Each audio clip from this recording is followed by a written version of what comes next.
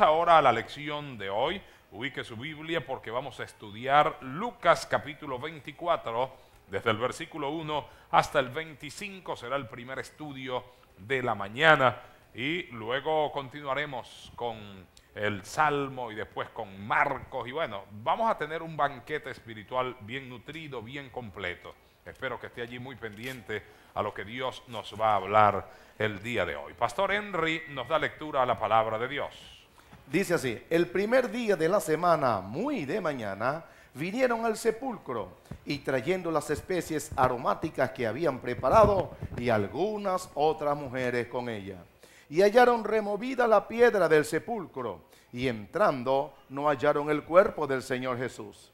Aconteció que estando ellas perplejas por esto, he aquí se pararon junto a ellas dos varones con vestiduras resplandecientes. Y como tuvieron temor y bajaron el rostro a tierra, le dijeron, ¿por qué buscáis entre los muertos al que vive? No está aquí, sino que ha resucitado. Acordado de lo que os habló cuando aún estaba en Galilea diciendo, es necesario que el Hijo del Hombre sea entregado en manos de hombres pecadores y que sea crucificado y resucite al tercer día. Entonces ellas se acordaron de sus palabras y volviendo del sepulcro dieron nueva de todas estas cosas a los once y a todos los demás. Eran María Magdalena y Juana y María, madre de Jacobo, y las demás con ella quienes dijeron estas cosas a los apóstoles. Mas a ellos les parecían locura las palabras de ella y no las creían. Pero levantándose Pedro corrió al sepulcro y cuando miró dentro vio los lienzos solo y se fue a casa maravillándose de lo que había sucedido. Oremos al Señor.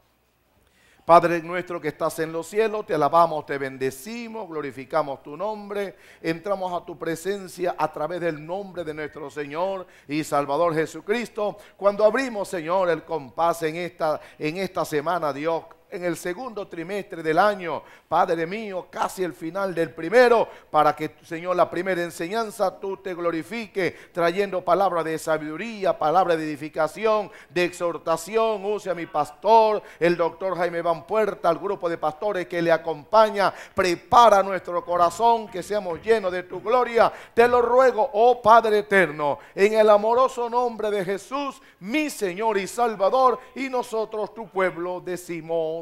Amén. Durante todos estos días estaremos hablando de las apariciones de Jesucristo después de su resurrección. Estaremos hablando de esto, mis amados hermanos, porque fue lo que mi Padre me ordenó después que Él resucitó, no se desapareció como las hojas secas arrastradas por el viento, como los barrancos que se van sin despedirse. No, después que Él resucitó, comenzó a aparecerse a sus discípulos, dándoles pruebas indubitables que el mismo Jesucristo que había sido crucificado, ha resucitado.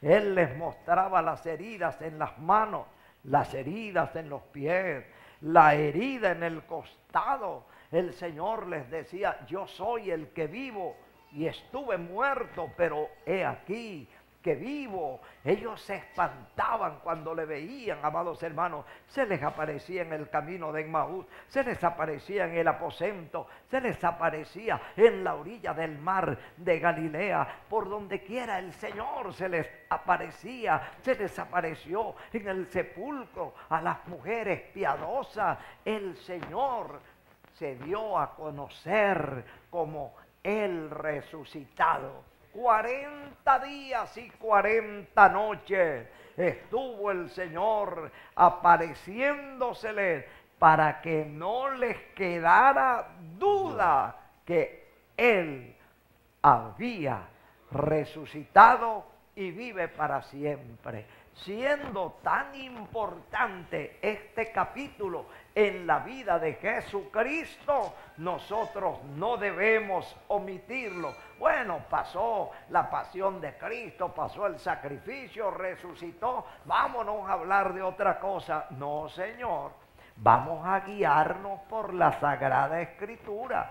Dios le dio bastante espacio a las apariciones de Jesucristo, el resucitado. Y si Dios le dio tanto espacio en la palabra de Dios, en la escritura, nosotros no podemos, hermano, agarrar eso como cuando se está limpiando un, campo, un conuco, y, se le da macañado, dicen macañado, dándole macañado ahí, tumbando el monte, y, y tumban un poco de monte sobre el otro, y abajo queda la maleza viva. No, no, no. Vamos a arrancar de raíz la duda, la ignorancia, la incredulidad. Estamos hablando de las apariciones de Jesucristo. De eso queremos hablar. El título del capítulo 24 es la resurrección, pero junto con la resurrección comienzan esas tremendas apariciones de mi Salvador, nuestro Señor Jesucristo. ¿Qué dice el versículo 1? Estamos en Lucas capítulo 24. Mira, aquí el versículo 1 dice, dígalo conmigo, el primer día de la semana. El primer, día, de, la, semana, Un día como ayer. Un día como ayer. Dice la escritura que muy de mañana vinieron al sepulcro trayendo las especies aromáticas que habían preparado y algunas otras mujeres con, ella. ¿Dónde estaban los hombres, Maer? ¿Dónde estaban los hombres, Beto? ¿Dónde estaban los hombres, hermano Levi? ¿Dónde estaban los hombres, Masi Rubí? ¿A dónde estaban los varones? Son puras mujeres las que andan por aquí. Préstamele el micrófono a Masi Rubí. ¿A dónde estaban los hombres, Rubí? Vienen las mujeres que prepararon los ungüentos aromáticos, las más diligentes. Ellas pasaron la noche vigilando, preparando el ungüento, guardaron el día de reposo y cuando ellas vienen el primer día de la semana para embalsamar el cuerpo del Señor, se encuentran con una tremenda sorpresa. Venían las que vigilaron y otras mujeres se les pegaron. ¿Para dónde van ustedes tan temprano? Vamos al sepulcro, nosotras también vamos con ustedes. Y se forma ese bojote de mujeres, pero ahí no aparece Pedro. ¿Dónde estaban los hombres, Masi Rubí? La Biblia dice que estaban escondidos por miedo de los judíos, escondidos. Aquí estas mujeres nos dan bastante ejemplo de valentía, de amor, de gallardía, de verdad es así. Estaban escondidos. Bueno, ¿qué más se va a hacer? Las mujeres aquí no ganaron ventaja. Las mujeres cogieron la delantera. Las mujeres cogieron la delantera. La Biblia dice, ay del que le dice a lo bueno malo. Y a lo malo bueno. Y a lo malo bueno. Yo no entiendo por qué algunos hombres se ensañan contra las pobres mujeres y no las dejan predicar. Y el pastor está predicando y habla y habla y habla y no pasa la esposa para que dé un saludo. Me parece que es por miedo, porque le conoce la lengua a la mujer, que la mujer dice las cosas clarito, clarito, que no le tiene miedo al diablo. La mujer dice las cosas sin miedo. Que Dios bendiga a las mujeres valientes. Amén, amén, amén. Aquí vienen este poco de mujeres con, con bálsamos aromáticos, o sea que no se presentaron con las manos vacías. Está escrito en Deuteronomio capítulo 16, versículo 16. Diga conmigo que ninguno se presentará delante de Jehová. Ninguno se presentará delante de Jehová. Hermano, hermano, hermano Vega. Ramón. ¿Cómo, Ramoncito, cómo, cómo, cómo es que no debemos presentarnos delante de Jehová? Con las manos vacías, pastor con las manos vacías. ¿Qué traían estas mujeres, hermano Ramón? Especies aromáticas. Ellas mismas habían preparado aquel ungüento, especies aromáticas para ungir a mi Señor, aunque estaba muerto, pero le trajeron ofrenda. Le tra y era muy costoso ese ungüento que ellas prepararon. Eso era demasiado costoso, pero ellas vinieron a traerle aquel presente al cuerpo del Señor. ¿Sabe que hoy el cuerpo del Señor es la iglesia?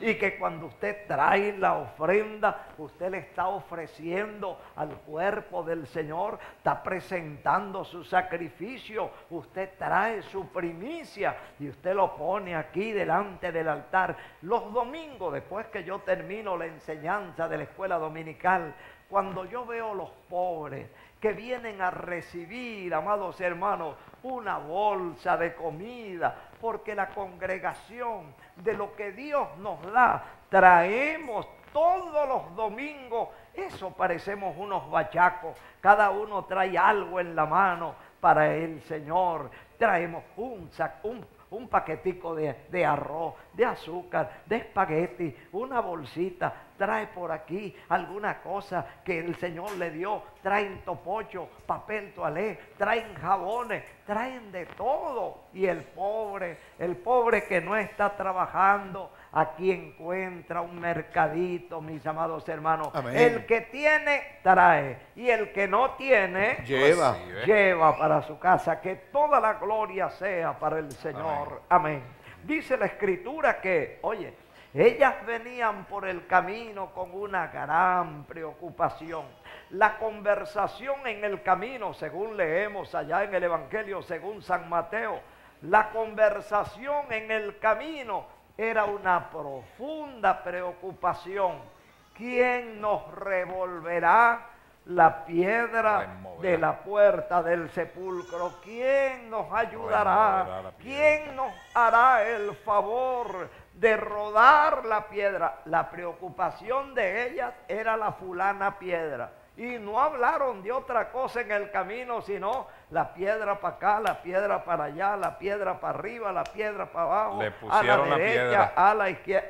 Le pusieron la piedra unas con otras. Sí, unas con otras, amados hermanos. Esa piedra la pasaba. Es que es pesada. Yo vi cuando bastante hombres rodearon aquella piedra. ¿Quién nos revolverá la piedra? ¿Quién nos quitará la piedra? Su preocupación en el camino era la fulana guaratara, aquella tremenda piedra que estaba en la puerta del sepulcro. Pero qué cosa tremenda, mis amados hermanos. Cuando ellas llegan al sepulcro, su gran preocupación ya no estaba mal. El gran problema ya no estaba mal. Yo leí en una oportunidad que las cosas que tanto, tanto, tanto nos perturban, que no nos dejan dormir, nos damos cuenta al día siguiente que eran preocupaciones infundadas. Mm. He leído que de cada 10 preocupaciones, 8 o 9 no tenían razón de ser. Eran preocupaciones que nosotros nos encaramamos en la cabeza, pero que a decir verdad, cuando llegamos a enfrentar el problema, no es lo que nosotros estábamos pensando. Deje de preocuparse por tontería. La Biblia dice, echa sobre Jehová tu carga. Y Él te sustentará. Y Él te sustentará a ti. No esté cargando paquetes ajenos, bojotes ajenos. Échele el saco de problemas encima a Papá Dios, que Él tiene más fuerza que nosotros. Él tiene capacidad para resolver todo. Amén. Todo, todos nuestros problemas. Cuando ellas llegaron, versículo 2, ¿qué pasó en el versículo 2, hermano Roberto? ¿Qué pasó en el versículo 2? Dice, y hallando removida la piedra del sepulcro, ajá, dice, y que hallaron removida. Removida la, piedra, del, sepulcro. ¿Dónde está la preocupación? Bueno, en que la fue. piedra, mm, este, como... Se acabó la Sí, preocupación. se acabó Se la preocupación de ellos. La gran preocupación que ellas tenían, la piedra para acá, la piedra para allá, la piedra grandota, necesitamos muchos hombres para que nos ayuden a remover la piedra. Y cuando llegan a donde estaba la piedra, la piedra ya no está. Ah. Porque el Señor quita las piedras, Aleluya. los problemas. Así es. Él es Así la es. solución Amén. de Amén.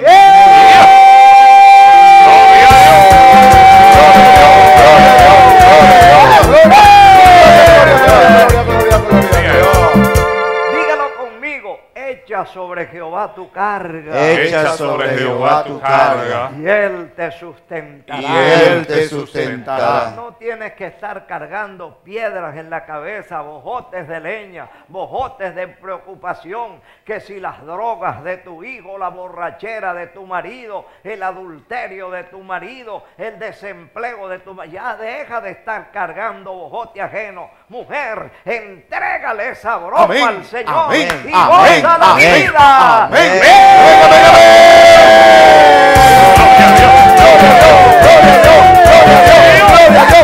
Gloria a Dios. Cuando tú le entregas tu problema al Señor, ya el problema no es tuyo, el problema es Es del Señor. de el Señor. Echa sobre Jehová tu carga y él Te te, sustentará. sustentará. Conozco el testimonio allá en Israel. A las 2 de la mañana se despierta la esposa y ve al marido que está sentado en el centro de la cama y con las manos así. Y le dice, ¿qué te pasa, Moshe? Ay, que a las 10, a las 8 de la mañana tengo que entregarle 10 mil dólares a- a Shlomo. Y le dice, ¿y- ¿y eso te perturba el sueño? Sí, porque no tengo los 10 mil dólares se acabó el problema. Agarró ella, llamó a esa hora de la mañana al acreedor y le dijo, Shlomo, mi marido tiene que entregarte 10 mil dólares. Sí, a las 8 de la mañana. Le- no tiene el dinero. Puc, y le trancó el teléfono y le dijo, duerme tranquilo, que ahora el problema es de él. Hermano, usted haga una oración y dígale, Señor, gente encárgate de, de los 10 mil dólares, encárgate del barco. Queremos un barco Amén. de hierro. No, yo no me voy a montar un barco en la cabeza y andar como loco por ahí. No, el barco se lo entregué a papá Dios. Aleluya. Y detrás de un barco amén. van a venir muchos. Amén. ¡Eh!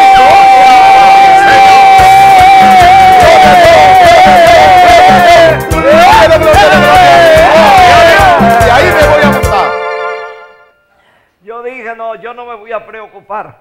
Voy a hacer una cosa. Yo sé que dentro de la obra nosotros tenemos una flotilla, hermano, y le escribo al hermano Jesús Brito. Hermano Jesús Brito, ¿cuántos barcos tienen allá nuestros hermanos apureños en la orilla del río Meta? Me escribe el hermano, el hermano, el hermano Brito me escribe. Me dice, uh, esos tienen como 40 bongos.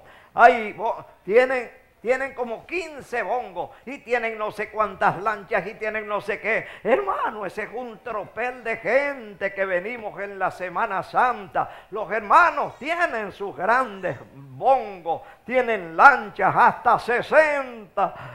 Personas se acomodan, cada uno guinda su chinchorro, porque eso tiene. Y yo digo, ay, ay, ay.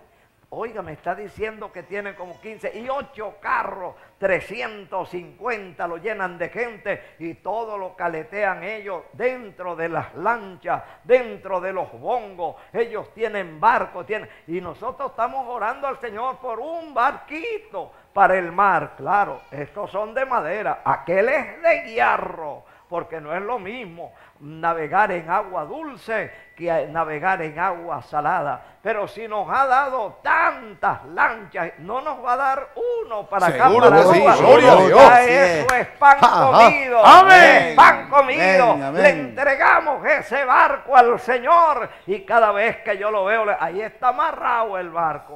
Burro amarrado, leña segura. Y-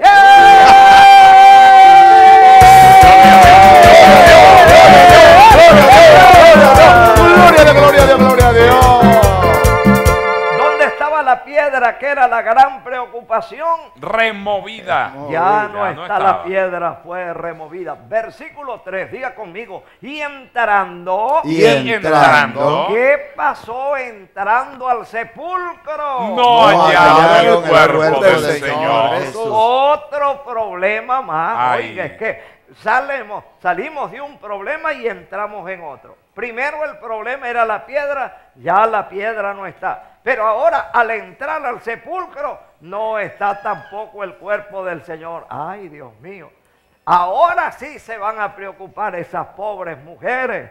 Hermano, ¿dónde está el cuerpo del Señor? ¿Quién se lo llevó? Ellas vienen con, su- con sus frascos de alabastro. Venían, mis amados hermanos, con su ungüento para embalsamar el cuerpo del Señor y ahora no está el cuerpo del Señor. ¿No cree usted que será un problema muy grande de, angustia, de desesperación para ellas, hermano Levi? Sí, doctor Puerta, porque un problema trae otro problema. La preocupación de la piedra que ellas traían le produjo que se olvidasen de las promesas que Dios le había hecho. Jesucristo le había dicho a ellos que resucitaría, pero como ellas estaban pensando tanto en la piedra, se olvidaron de que Jesucristo iba a resucitar. Y cuando llegaron no encontraron a Jesús y dijeron entonces otro problema más, no está Jesucristo, seguían olvidadas de qué? De que Jesucristo tenía que haber resucitado. Gracias por esa intervención tan exacta. Diga conmigo, nuestros problemas comienzan Nuestros problemas comienzan. cuando nos olvidamos de la palabra. Cuando nos olvidamos de la palabra. Y nuestros problemas terminan. Y Y nuestros los problemas problemas terminan. terminan. Cuando nos agarramos de la palabra. Cuando Cuando nos nos agarramos de la palabra. Si ellas hubieran recordado, Él va a resucitar al tercer día, hoy es el tercer día, no está aquí, empiezan a brincar y las toma el Espíritu Santo. Aleluya, ¡Resucitó! aleluya, gloria.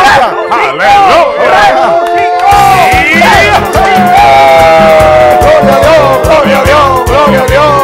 Resucitó el Señor, resucitó el Señor.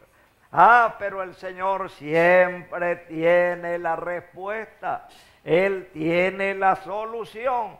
El Señor le mandó dos ángeles Amén. para que hablaran con ella. Versículo 4, mi Juan, ¿cómo dice el versículo 4? Aconteció que estando ellas perplejas por esto, he aquí se pararon junto a ellas dos varones con vestiduras resplandecientes. Y como tuviesen temor, ¿quiénes tuvieron temor? ellas las mujeres, oiga, y como tuviesen temor, vinieron dos ángeles a decirle, mujeres, no se preocupen, ustedes andan buscando al Salvador del mundo, ya resucitó, ya resucitó, ya Amén. resucitó. Aleluya. Él les dijo que iba a resucitar.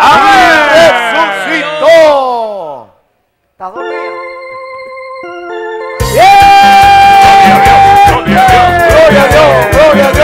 Gloria a Dios. Gloria a Dios, gloria a Dios, gloria a Dios. Toda la gloria sea para el Señor. Amén. Todo comenzó porque se olvidaron del Todopoderoso, el que está con nosotros, el que nos ha dado la orden. Echa sobre Jehová tu carga. y él te y Él te sustentará. sustentará a ti. Tú le zumbas tu preocupación al Señor y el Señor te toma entre sus brazos. Y tú duermes como un pajarito. Aleluya. Tú duermes como un pedazo de palo.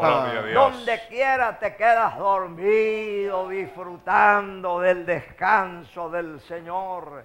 Dios le mandó dos ángeles y en lugar de alegrarse, ay Dios mío, aquí están los mensajeros, esos tienen la respuesta, entonces se asustaron. Otro problema más. Ahora vienen los que traen la respuesta y ellas más, casi que se desmayaron esas mujeres. Cuando vieron esos ángeles, ¿cómo crees tú que reaccionaron ellos cuando vieron esos ángeles resplandecientes, mi Henry? Dice la Biblia que las mujeres se llenaron de temor, asustadísimas, estaban pasando una crisis tremenda, pero estaban viviendo una experiencia al pie de la tumba del resucitado.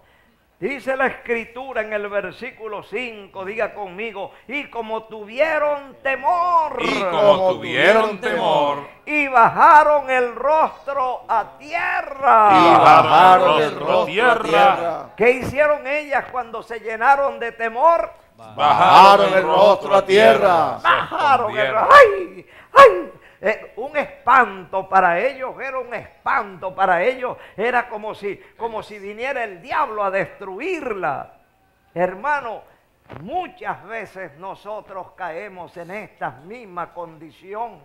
Vivimos asustados, atormentados, con miedo. Eh, Pero ¿por qué tiembla, gelatina? ¿Por qué tiembla? Diga conmigo. Los ángeles les dijeron. Los ángeles le dijeron. Viendo las que estaban llenos de miedo, viendo las que estaban temblecas, los ángeles les dijeron. ¿Qué le dijeron los ángeles? ¿Por qué buscáis entre los muertos al que vive? ¿Cómo le dijeron? ¿Por qué buscáis entre los muertos al que vive? No entiendo. ¿Cómo le dijeron? ¿Por qué buscáis entre los muertos al que vive? ¿Por qué están ustedes buscando aquí en el sepulcro? ¿Por qué están buscando ustedes entre los muertos? Ustedes van a ir al cementerio a buscar al Salvador del mundo. Él no les dijo a ustedes que al tercer día iba a resucitar. ¡Aleluya! No es hoy el tercer día. Ay, ¿Cómo es que Señor, ustedes gloria no a Dios. están haciendo ¡Aleluya! de alabanza? ¡Aleluya!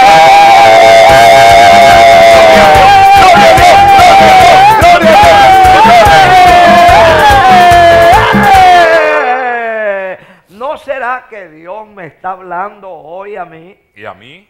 ¿No será que Dios te está hablando hoy a ti? Amén. ¿El Señor resucitó o no resucitó? Resucitó. ¿Está con nosotros o no está con Está, nosotros? Está con con nosotros. No sé por qué vamos a vivir preocupados por un barquito. No es el. Señor, no es el Señor el dueño de ¡Aleluya! todo.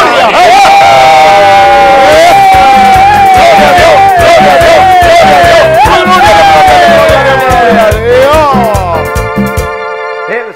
ha dicho en su palabra, Salmo 2.8, diga Pídeme. conmigo, pídeme, Pídeme. yo te daré. Y yo Yo te te daré. daré. Por herencia a Por las herencia. herencia a las naciones. Y como posesión tuya. Y como Como posesión posesión los tuya. confines de la tierra. los confines de la tierra. Si nosotros queremos hoy, le pedimos al Señor un ferry, Amén. Amén. un ferry nuevo. ¡Aleluya! para cargar hermanos por el mar Caribe, Amén. para llenar a la misión número 5, Amén. para lanzar matutinos desde alta mar.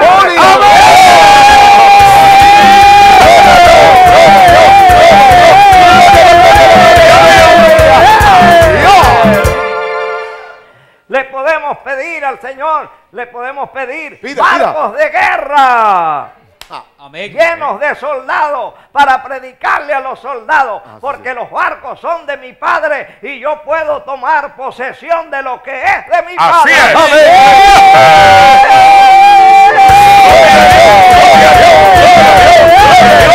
Gloria, gloria, gloria a que nos preste también los portaaviones. Amén. Y hacemos matutinos en los portaaviones Amén. norteamericanos. Amén. Y en los portaaviones de. Europa. Amén. ¿Podemos o no podemos? Sí. Son de nosotros o no son de Son nosotros? de nosotros. Hermanos, solamente tenemos que abrir la boca. Aleluya. conmigo, pídeme. Pídeme. Yo te daré. Y yo yo te te daré ¿Qué es lo que me va a dar mi Padre? por herencia a las naciones. Por herencia a las naciones. ¿Y qué más? Y, y como por posesión posesión tuya tuya, los los confines confines de la tierra. Se me, se me está abriendo las ganas de pedir helicópteros. ¡Sí,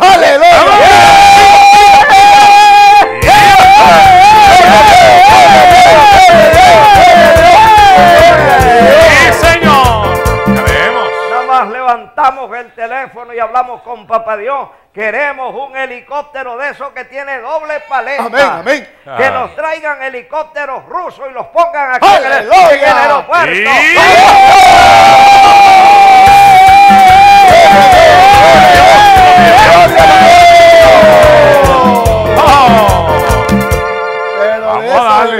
pero de esos helicópteros yo voy a manejar uno. pero usted es lo mío, usted es lo mío. Para decirme que tengo que, ¿cómo es que se maneja con la izquierda? Con la izquierda se levanta el colectivo y se le da el paso cíclico. está listo, ya está listo. Alabado sea el Señor. Cosas maravillosas suceden cuando sucedió la resurrección de nuestro Señor. Unas mujeres valientes que se levantaron muy de mañana y fueron a ofrecer las especies para conservar el cuerpo del Señor. Pero Dios tiene cosas mucho más grandes para nosotros. Nuestro hermano Puerta Dios lo usó en este momento para pedir. Y él pedía y pedía. Y allá arriba el Señor decía, hasta ahora no has pedido nada. Pedí.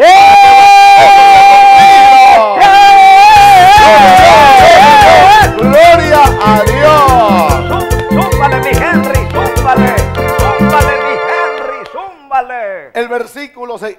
Tienes que estar entendiendo que estamos en el capítulo 24 del Evangelio según San Lucas. Estamos hablando de las cosas de la resurrección, las apariciones de nuestro Señor y Salvador Jesucristo. Dice el versículo 6 que los ángeles le dijeron, no está aquí, sino que ha resucitado. No está aquí. Fíjense lo que lo dicen los ángeles. Hay personas que adoran a los ángeles hacen adoraciones a seres espirituales. Pero oiga bien cómo se manejan las cosas en el reino espiritual. Los ángeles no se llenaron la boca diciendo, nosotros estamos aquí porque resucitamos al Señor, porque nosotros tenemos mucho poder. Ellos dijeron, no está aquí. Él ha resucitado, o sea que no necesitó la ayuda de nosotros. Nosotros solamente vinimos a mover la piedra porque fue la orden que recibimos del Rey de Reyes y Señor de Señores. Él se levantó solito porque Él puso su vida y luego volvió a tomar su vida.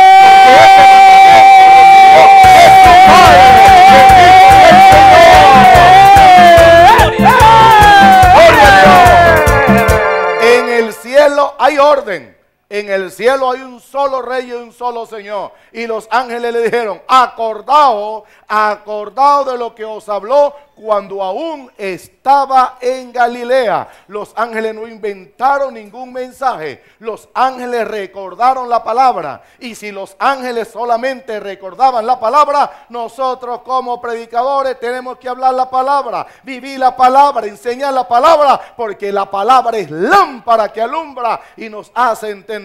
Los ángeles no vinieron con un mensaje diferente. Por eso el apóstol Pablo dijo en Gálatas que si algún ángel del cielo os anunciara vuestro evangelio diferente a esto, que sea anatema. Ay, que se me apareció un ángel en sueño y el ángel me dijo, no vayas a los matutinos. Dígale, usted es el diablo, que el Señor lo reprenda. Amén. Porque la orden de Dios es ir a los matutinos en la mañana de lunes a viernes. Todo,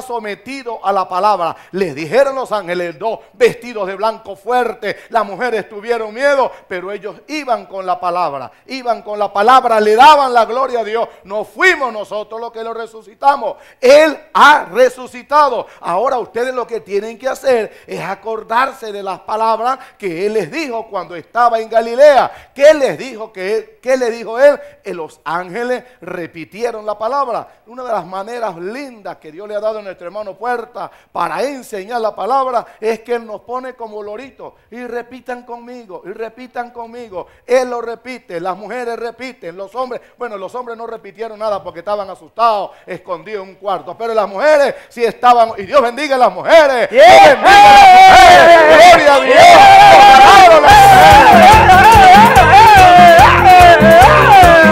Aleluya.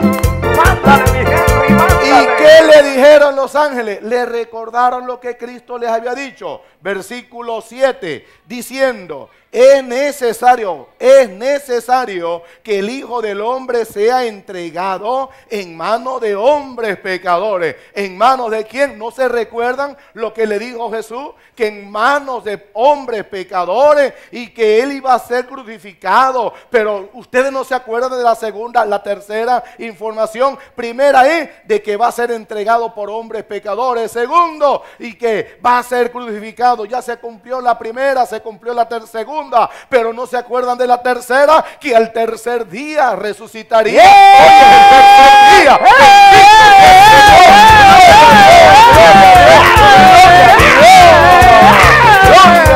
Henry, El apóstol Pablo dijo, no me cansaré de repetirlo las mismas cosas. La palabra de Dios hay que repetirla en la mañana, en la tarde, cuando anda en el camino, cuando te acuestes, cuando duermes, cuando estés con la esposa, cuando estés con el hijo. Esta palabra tenemos que vivirla. Mucha palabra, mucha palabra en nuestras vidas. Y eso es lo que se oye en los matutinos. Palabra de Dios. Los ángeles le acordaron la palabra a las mujeres. Hoy en día está nuestro hermano Puerta. Estamos nosotros para recordarle la palabra. Usted la oye, entonces usted le recuerda la palabra al hijo. El hijo se la, se la recuerda al amigo y todos serán llenos de la palabra del Señor como las aguas cubren la tierra. Ustedes se recuerdan que el tercer día, hoy es el día tercero, Él ha resucitado. Bendito sea el Señor cuando hay el poder de la palabra. Porque dice la escritura, entonces ellas ellas se acordaron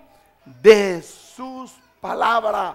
Necesitamos que alguien nos recuerde la palabra. Cuando tenemos problemas y vemos los problemas demasiado grandes, cuando vemos la dificultad, ellas iban pensando en la piedra. ¿Quién nos quitará la piedra? Ahora no conseguimos el, el cuerpo del Señor. Pero la palabra nos trae gozo, nos trae alegría. Estás mirando, no estás angustiada, no te angusties. ¿Tienes problemas? No hay problema. Porque Cristo es mayor que todos los problemas. Resucitó, venció la muerte. Mujeres, las mujeres se acordaron de la palabra. Gloria a Dios por las mujeres que recuerdan la palabra de Dios. Cuando están hablando con los hijos, le recuerdan la palabra a sus hijos. Y dice el versículo 9, y volviendo del sepulcro, dieron nueva de todas estas cosas a los once y a todos los demás. ¡Qué tremendo!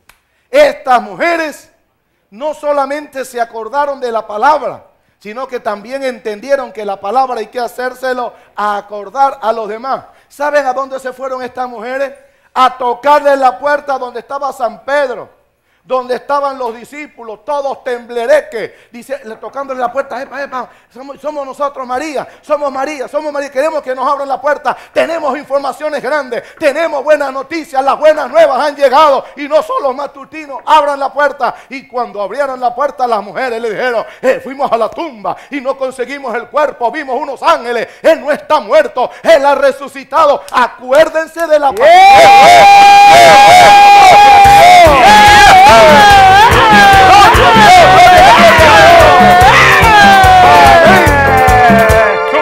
Le enseñaron y le dije, ellas, ellas aprendieron.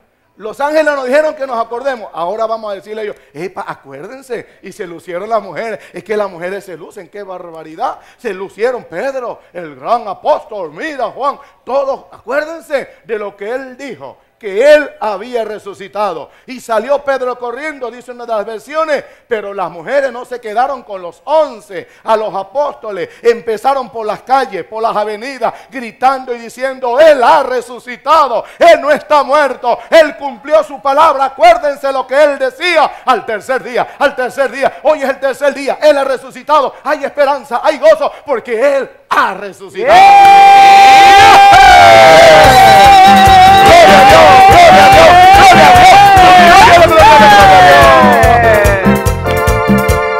Oye, Henry, regresaste con batería nueva. Repotenciado. Está repotenciado, Ah. mi Henry. Y trajo una chaqueta. Esta chaqueta parece que es de cuero de camello. Gloria. Como la que usaba Juan el Bautista. Lástima que no me quede, porque si no te la pediría prestada. No, va, va a bailar en la chaqueta. A mí me sirve de cobija para roparme de la cabeza a los pies. Porque ese es un chaquetón muy grande. Yo creo que ahí puede arropar a la mujer, a los hijos y le queda espacio para seguir. Que Dios te bendiga, mi gente. ¡Amén!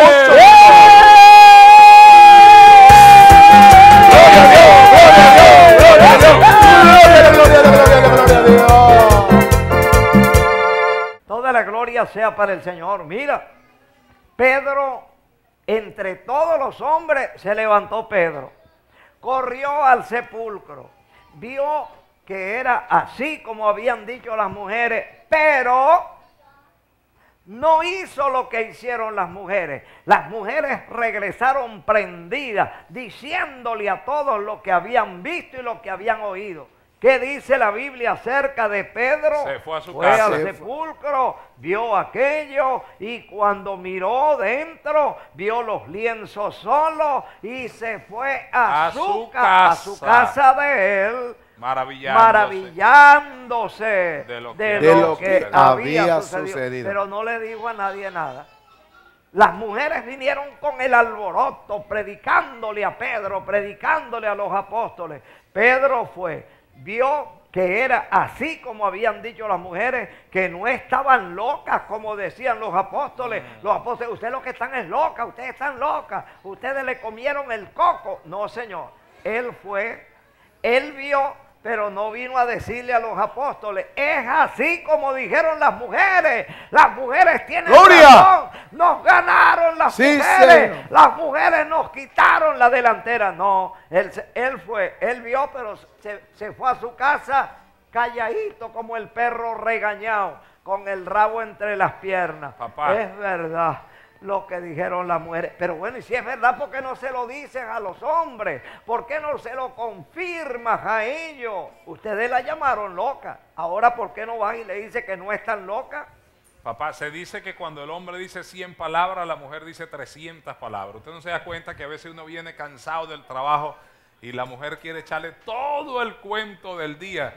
Y uno con, con una, dos, tres palabras ya no quiere hablar más, está cansado. Aquí hay una lección para nosotros, amados hermanos, para los hombres. Los hombres, levanten la mano los hombres. Diga conmigo, aquí hay una lección Aquí hay una lección para nosotros. para nosotros. Que no de- debemos dejarnos espaturrar Que Que no no debemos dejarnos espaturrar. con las mujeres. Con Con las mujeres. mujeres. Si ellas vienen al matutino, Si ellas vienen al al no matutino, nos podemos quedar en casa. No nos podemos podemos quedar en casa. Tenemos que ganarle a las mujeres. tenemos que ganarle a las Si mujeres. ellas aplauden. Si ellas aplauden, Nosotros también. nosotros Si también. ellas dan gloria a Dios. Si ellas dan gloria a Dios, Nosotros también. Nosotros si también. ellas reciben el poder del Espíritu Santo. ellas si reciben reciben el poder, del Espíritu nosotros también. Gloria a Dios, gloria a Dios, gloria a Dios, gloria a Dios, gloria a Dios, gloria a Dios, gloria a Dios. Túmbale, Roberto. Gloria a Dios, dice el tema en el camino de Emaús. Dice, y aquí, dos de ellos iban el mismo día a una aldea llamada Emaús, que estaba a 60 estadios de Jerusalén. E iban hablando entre sí de todas aquellas cosas que habían acontecido. Bueno, la muerte, el nacimiento del Señor y la muerte y la resurrección siempre ha traído mucho comentario, ¿verdad? Mucho comentario. Gracias a Dios que el Señor nos ha permitido, ¿verdad? Hacer bastante comentario de ese gran acontecimiento. Estos dos varones dice que iban hablando de todas aquellas cosas que habían acontecido. Iban hablando de el sepulcro seguramente, de donde todo, de todo, de la muerte del Señor, de la, de la resurrección.